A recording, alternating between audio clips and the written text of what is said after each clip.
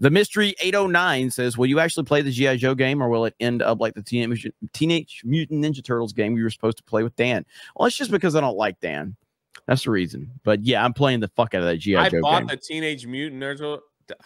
The Teenage Mutant Wait, Ninja what, wait, Turtles. what, wait, what? I said Nurgle. Uh, oh, God. that was close. It was a close one. It was a close one. So yeah, it's his fault. Freaking Jay.